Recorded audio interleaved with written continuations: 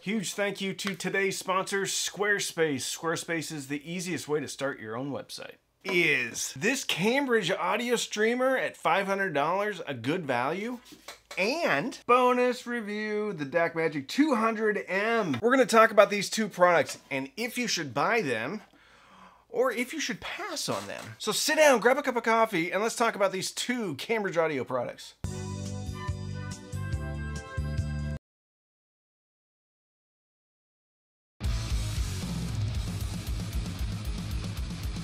I had a great time at AXPONA.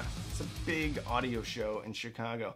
And one of my favorite things about going to AXPONA was getting to know the folks over at Cambridge Audio a little bit better. I got to meet their CEO, their marketing people. And the one crystal clear thing I got from walking out of the Cambridge audio room, and they had a nice one, they had couches and stuff, was that they were serious about audio. Not just about selling products, but about audio. We talked about music. We even talked about pretty obscure metal punk stuff that I like. And guess what? they knew about it. That's kind of the litmus test for me. I've talked to other companies and they don't even want to talk about music. Some companies are super, super corporate.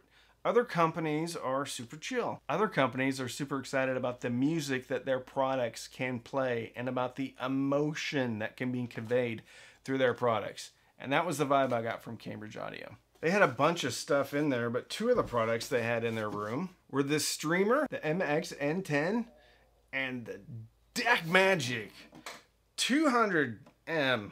I've had the DAC Magic in before. DAC Magic is a headphone amp and, well, a DAC. Streamer is a streamer. Let's talk about some specifications.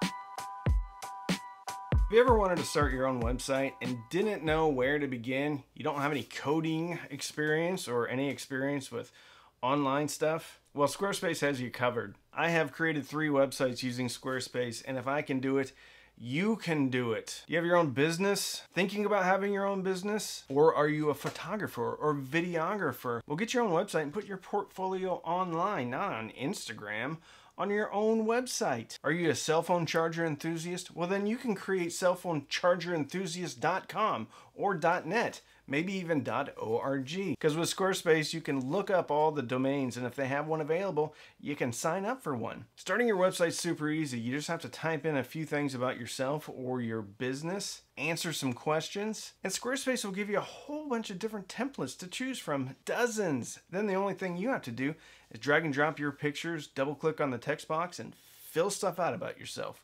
or your business. You can sell things online, and if you don't know how to do it, Squarespace has an entire help section. They'll walk you through all the steps. They even have videos to help you through. Do email campaigns, market your products, the sky's the limit, but you need your own website. And I'm actually going to start a new website with Squarespace. So run on over to squarespace.com slash cheapaudioman to get 10% off your first order if you're serious at all about your business. If you want to create a website for your family, have one place where all your pictures and videos and memories can live on into perpetuity, start your own website. We should all have our own website and Squarespace makes it super easy. So go to squarespace.com slash cheapaudioman and get 10% off your first order. Thank you, Squarespace.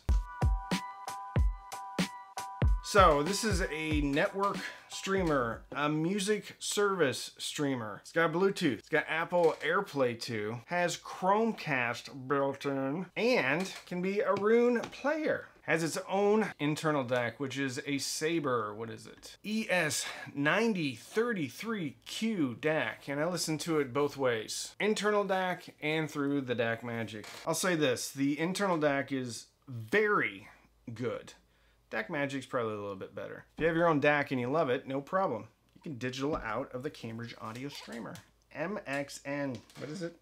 MXN10. So what you do is you download their app, you set it up. Setup was pretty easy. Then you enter your credentials for Tidal, for Qobuz, whatever it is. It also has Spotify Connect and Tidal Connect. If it's on the same network as your NAS, NAS is network attached storage device. I have one, it's hooked up to my router. All my music is on there. You go in, you go into the app and you pull all your music in. You can also hook up a hard drive with all your music on it too. I just did a video on a Duke audio digital music player. And that's pretty much the only thing that did was you hooked up a hard drive to it and you played music. Pretty cool 15 years ago or 20 years ago, but not so much now. It pretty much covers all the different file formats. So ALAC, WAV, FLAC, AIFF, DSD. For all you DSD fans out there, I just did a live stream where we talked a little bit about DSD and I asked how many people on the live stream use DSD and no one said yes. I think maybe one person said yes. The DAC Magic 2. Whoops. That literally just fell into my coffee. I don't know what that was. Too funny. I forgot to mention the price. So the streamer is $500. DAC Magic 200M 550. I think that went up recently. I think it used to be $500.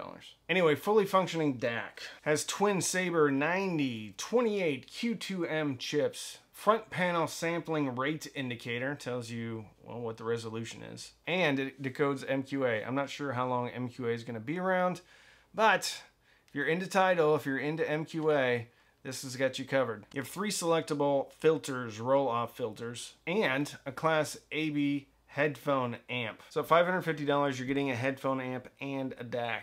Let's see how much power it puts out. Headphone amp puts out 300 milliwatts into 32 ohms. So that may not be enough to power some of the power hungry planar magnetic headphones. However, all the dynamic headphones I put on here and even I was listening to the Edition XS. Sounded good. If you have something like the Dan Clark Aeon, which are 13 ohm, this probably isn't going to have enough power for you. What's on the back? On the back, this is the DAC Magic single-ended RCA output balanced output, coaxial and optical in for digital 1. You have a coaxial and optical in for digital 2. So you have two coaxes and two opticals. They both share the same input though. Full-size USB. Then something very interesting right here is a ground lift. So if you're having grounding issues, you don't have to worry about running out and buying some type of fancy power strip or power conditioner. You can just do this. Then you have your Bluetooth antennae where you put your aerial. Aerial. 12 volt DC. On the back of the streamer, you have the RCA single-ended output, coaxial out, optical out, little service connection. Then over here is where you plug in your thumb drive or hard drive or whatever else. Then you have hardwired internet right here, and then a little figure eight power connector.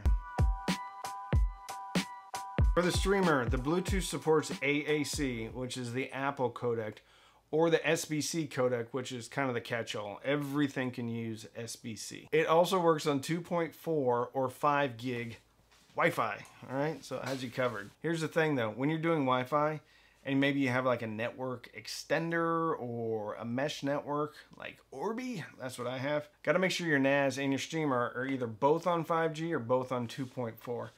I have noticed that sometimes when they're not on the same thing, even though they're connected to the same network, they don't like to talk very much. Comes with a two-year warranty. Talk about how it sounds. Streamers are difficult when you're describing how they sound. And anybody that says that one sounds way better than the other, I don't know. I would be skeptical. Here's the big differentiating factor though between something like Cambridge Audio Streamer and this little WiiM. This is about 80 bucks, okay? This is $500. This sounds way better than this when you're using the internal DACs. So I think the value here with the Cambridge Audio is fundamentally you're getting a very high quality DAC that's included the WiiM Pro is out there around $150 and it does everything that this does and some things that this doesn't do. But doesn't have nearly as good of a DAC inside and doesn't sound as good as a Cambridge Audio streamer. However, when you're digitaling out, things get a little bit more even Steven. So the value in the Cambridge is in the internal DAC.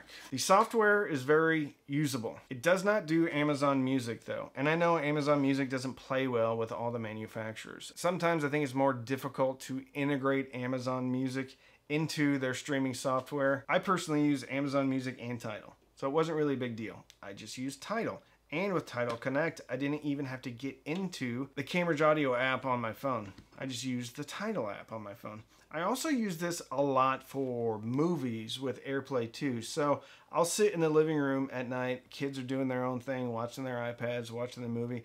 I'll be watching something on my Mac Air and I'll AirPlay it over to the streamer. So there's a lot of options here. At $500, you are competing with the iFi Zen Stream.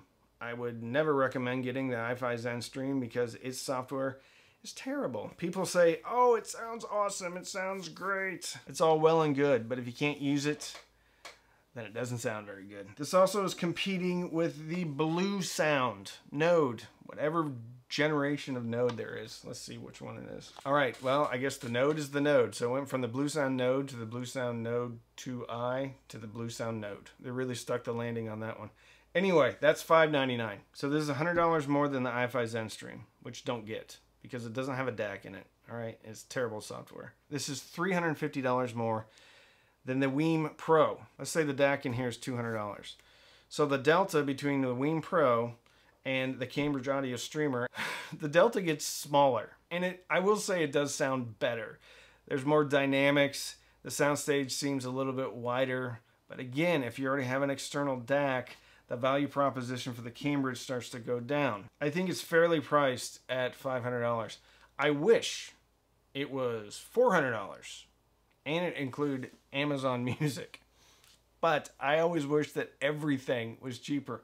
What you're getting with Cambridge that you're not getting with WiiM is history and legacy. WiiM is great. I've been very impressed with WiiM. I'm impressed with their software. I'm impressed with their software update schedule. But WiiM could go away tomorrow. I'm not saying that they're going to, but they could. Cambridge Audio is not going anywhere. I get they're traditionally distributed, so Crutchfield has to make their margins on this. All their dealers need to make their margins. I'm glad it exists, and I think it sits squarely where it should be sitting as far as price goes. However, I wish this had a screen.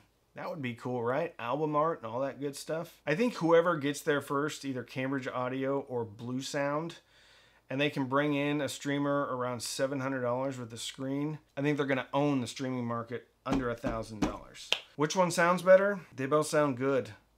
If you're using the internal DAC, the Cambridge sounds better. And I think even a layman's going to be able to tell you that it sounds better. If you can't swing the Cambridge audio from a price standpoint, well, the good news is the WiiM Pro exists. If you're a heavy Amazon Music user, this is not the product for you. If you're into Roon, Tidal, Qobuz. I think this is a very versatile component with AirPlay 2. You have kind of shortcut buttons here that you can assign to playlists. There's a lot to like here. As far as the DAC Magic 200M goes, it's been around for a while and I think it's getting long in the tooth. I also think it's leaning too heavily on MQA, which is no fault of Cambridge Audio because who knew that MQA would kind of be falling out of favor? At the time, it seemed like MQA was the place where you want to be. You want to throw your hat in with MQA.